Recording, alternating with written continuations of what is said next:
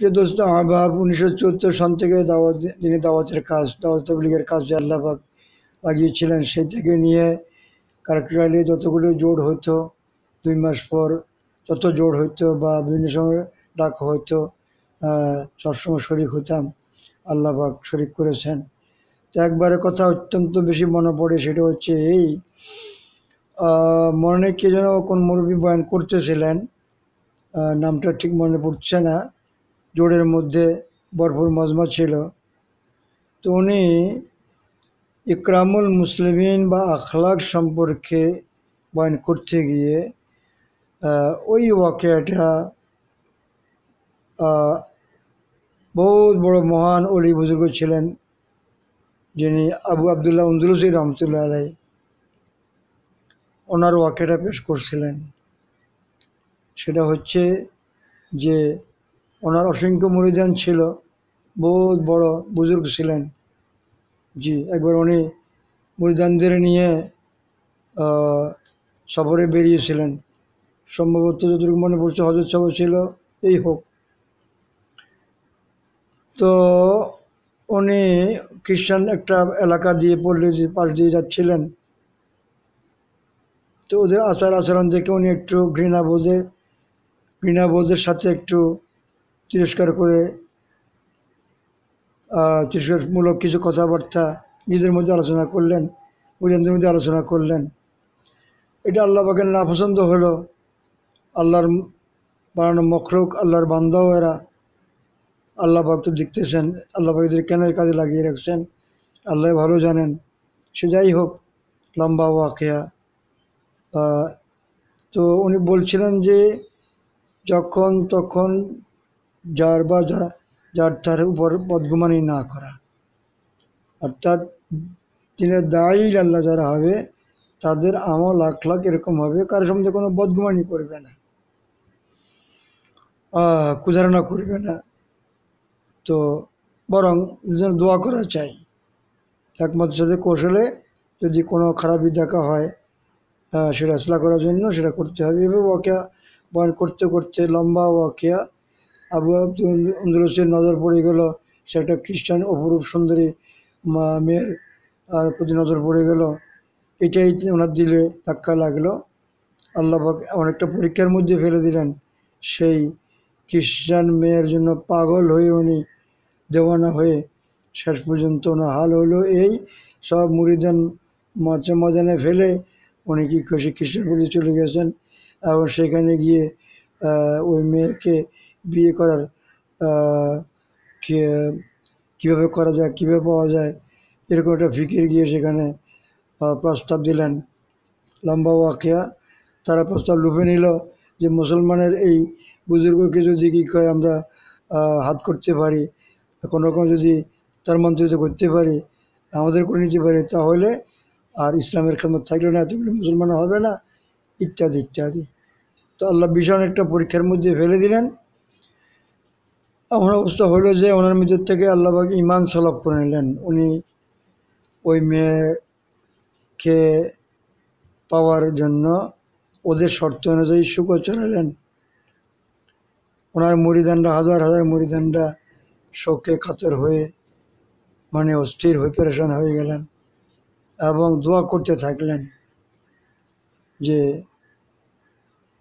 ও যারা সত্যিকার অর্থে যারা ওনার কেউ খাস ময়দান ছিলেন এবং ওনার সাথে খাস মহব্বত ছিল। করুণাদারি করে আল্লাহ দরবারে, আল্লাহ আমাদের সাহেবের কী হলো? আমাদের পীর সাহেবের কী হলো? এত বড় একজন মহান অলি। এখন তো সব আমাদের মেহনত, ওনার সব মেহনত বরবাদ হয়ে গেল। খ্রিস্টানরা তো, বিধর্মীরা তো এটা বাবা দিচ্ছে। ওনাকে কীভাবে হাত করে নিল কী হলো? লম্বা ওয়াকিয়া, এক বছর পরে সম্পূর্ণ ঘটনা বলছি না। মূল কথাটা আলোচ্য বিষয় হচ্ছে এটা আল্লাহ ওনাকে ফিরে নিলেন এবং সেই খ্রিস্টান সম্প্রদায় সকলেই ওনার মুসলমান হয়ে ওনার তবা করে বাইত হয়ে গেলেন। এবং দেখা করে যে ওনার আগে যে মরিদান ছিল, এখন ওনার মরিদানের সংখ্যা দিন দিন হাজার হাজার লাখ লাখ বাড়তে থাকল। মানে অসংখ্য অগণিত হয়ে গেল এক কথায়। তো ঘটনার সারমর্মটা এটাই বুঝাচ্ছিলেন যে, ভাই, আমরা আখলাকের লাইনে আমাদেরকে এরকম হতে হবে। আমরা যখন তখন যার তার উপরে কোনো বদগুমানি করব না। কারণ এটার একটু কুফরজ বিশেষ করে দিনের দায়ীরা এটা ব্যাপারে খুব ফরেজ করতে হয়। তো, ওই মুড়িদণ্ড তো ওরা কান্নাকাটি করল, দোয়া করল তারপরে আবার আল্লাপাক এই দোয়া তো আল্লাহ ওনাকে এই এত বড় মহান অলি আবু আবদুল্লাহ আন্দুলুজ রহমতুল্লাহকে আল্লাহবাক সেই ঈদ থেকে ফিরে নিলেন এবং পরবর্তী সময়ে আবার ওই খ্রিস্টান বলে ওরা মুসলমান হয়ে গেল এবং ওনার মুড়িদের সংখ্যা আরও বেড়ে গেল এবং ওনার সেই মেহনতের হরকত বিশ- বরকত হলো, দলে দলে লোক ইসলামে দাখিলও হলো এবং খাঁটি মুসলমানও হলো। তো এই ওয়াকিয়া পেশ করার উদ্দেশ্য এটাই যে ওই সিপটটা আমাদের হাসিল করতে হবে, যেটা খুব কম দেখা যায়। আমরা যে বদগুমানি করি, কোনো মুসলমান সম্বন্ধে কুধারণা করি এবং কীভাবে এদেরকে কার লাঞ্ছিত করব, খাটো করব, ছোট করব, নিজেকে বড় করে জাহির করব, এটা যেন আমাদের মধ্যে না থাকে। যদি থাকে, কারণ এখানটা জিনিস বুঝতে হবে যে ইকরামুল মুসলিমিন কথাটা কেন নেওয়া হলো। কালেমা, নামাজ, এলম জিকির ইকরাম মুসলিমিন তো সে নিয়ত তবলিগে ছটা কথা কেন আসলো? ছটা গুণ কেন আসলো? তো এই গ্রামুল মুসলিমটা হচ্ছে প্রথম নম্বরে আল্লাহ পাকের সবচেয়ে মকবুল মাহবুব বান্ধব হচ্ছে মুসলমান ইনসান সৃষ্টির সেরা মখলুকাত, মুসলমান সবার সেরা জাতি এবং এদেরকে বেরই করেছে কুন্তুম খয়া উম্মাতিন ওখরিজাতিন নাস সমগ্র মানব জাতির কল্যাণের জন্য এদেরকে বের করা হয়েছে। এরা দিনে দাওয়াতের কাজ করবে তা মরুনা বিল মারুফ অতান হাওনা নিমুনকার তো এই মুসলমান কীরকম সিবতওয়ালা হইতে হবে?